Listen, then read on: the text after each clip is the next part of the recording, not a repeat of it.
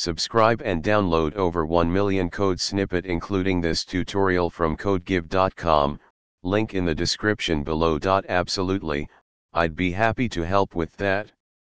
Selenium content in Brazil nuts can vary significantly depending on factors like soil composition and growing conditions, but on average, a single Brazil nut can contain around 68 to 91 micrograms of selenium. This is far more than the recommended daily intake, which is around 55 micrograms for adults. Let's explore how you can use Python with the Selenium library to gather information about the selenium content in Brazil nuts. First, ensure you have the Selenium package installed. You can install it via pip. Next, you'll need to have a WebDriver installed. Selenium requires a driver to interface with the chosen browser. The Chrome WebDriver is a popular choice.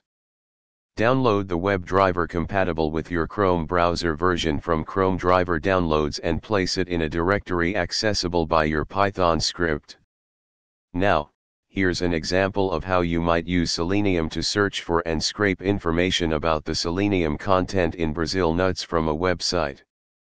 Replace https colon slash slash www.examplewebsite.com slash brazil hyphen nut hyphen selenium hyphen content with the actual URL of the web page containing the selenium content information.